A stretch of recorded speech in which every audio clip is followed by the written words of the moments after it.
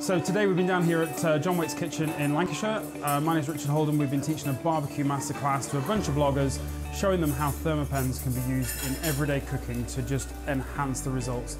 We've got four different recipes. We've got a, a chicken dish, we've got a steak dish. Yeah.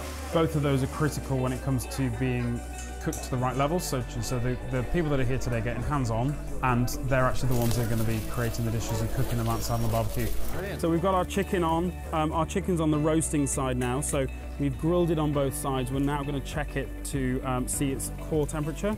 The reason why we do this is because sometimes um, our food can look cooked on the outside, but it's not cooked on the inside. One of the common ways to check this is to actually cut into food. Well, if you do that, all the juices run away. So by using the little fine probe, we can just get the very, very core temperature of that meat.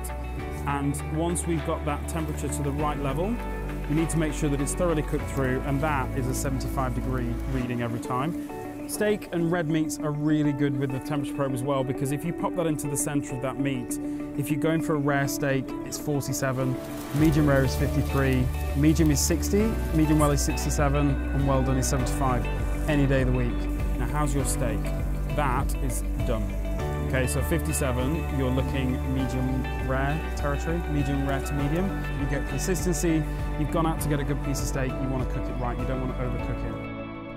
I think the biggest thing that they've learned is that you can control the heat on a barbecue, and if you control the heat on the barbecue and you cook your food to temperature, then there's nothing that you can't cook on your barbecue.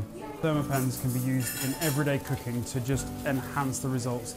Easy to use, straightforward, really quick. All your food is perfectly cooked every time just by getting that core temperature to the right point. Little bit of gadgetry that I always carry around with me, and I think you should too.